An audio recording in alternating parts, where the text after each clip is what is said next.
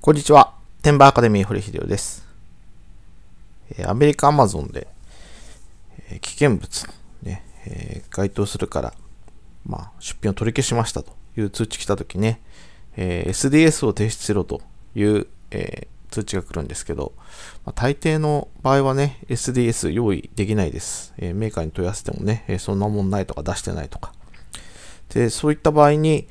まあ、そもそもね、危険物じゃないよという形で申請する方法もあります。まあ、こういうね、危険物には該当しませんと。ねまあ、ちなみにこれ危険物の一覧、ね、磁石だ、バッテリーだ、化粧品だ、えー、燃えるものが入ってるとか、えー、そういう形なんですけど、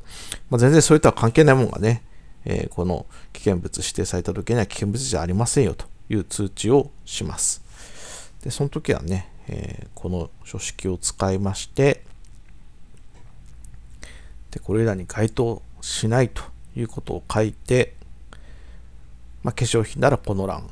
ね、化粧品等でなければこちらの欄に、まあ、商品の、えー、詳細を書くという形で申請することができます。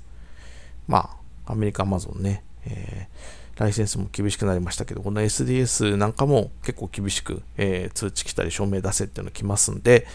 まあ、もし、えー、わからないけど、なんか通知来てるという場合はね、えー、その通知の文章の画面キャプチャー、えー、アップしてご相談ください。まあ、一つその証明じゃなくてね、えー、危険物じゃないというのを自分で宣言するという方法もあります。以上、天馬アカデミー、堀秀夫でした。